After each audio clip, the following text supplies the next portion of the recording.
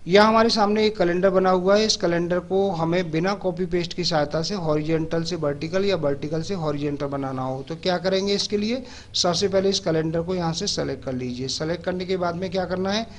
Control के साथ में शी बटन को प्रेस करना है। यानी इसको कॉपी करना और यहाँ पे कर्जर को कहीं भी रख दीजिए ब्लैंक स्थान पे। और यहाँ से माउस का राइट बटन प्रेस कीजिए। पेस्ट स्पेशल वाले ऑप्शन पे जाइए और यहाँ से ट्रांसपोज पे क्लिक कीजिए और यहाँ से ओके कर दीजिए। तो देखिए, ये जो कैलेंडर है, ये अपोजिट साइड में बन करके तैयार हो गया। यहाँ पे आपको ये सामने दिख रहे हैं संडे मंडे से लेकर के सैटरडे तक, और यहाँ आपको ऊपर से नीचे तक दिख रहे हैं। देखिए Sunday Monday Tuesday Wednesday Thursday Friday और सैटरडे इस तरह से।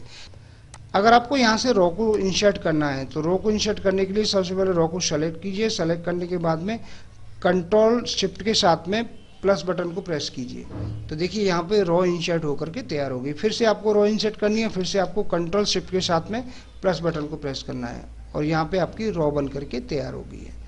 इसी प्रकार से यदि आपको कॉलन इंसर्ट करना है तो सबसे पहले कॉलन को आपको सेलेक्ट करना है। सेलेक्ट करने के बाद में कंट्रोल शिफ्ट के साथ में प्लस बटन को प्रेस करना है। तो आपका एक कॉलन बन करके तैयार हो गया। फिर से आपको एक और कॉलन इंसर्ट करना है तो इसके लिए कंट्रोल शिफ्ट के साथ में फिर से आप प्लस बटन को प्रेस कर दीजिए ऐसे। तो यहाँ से एक और कॉलन बन करके तैयार हो गए।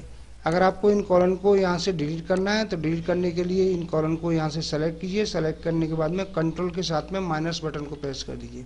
देखिए, यहाँ से आपके कॉलन यहाँ से डिलीट हो चुके हैं।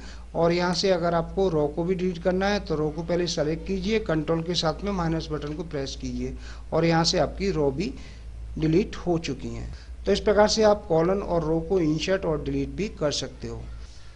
उम्मीद है आपको हमारा ये वीडियो पसंद आया होगा। इसी प्रकार से मैं आपके लिए और भी शानदार वीडियो लेकर आता रहूँगा। तब तक के लिए जय हिंद बंदे मातरम।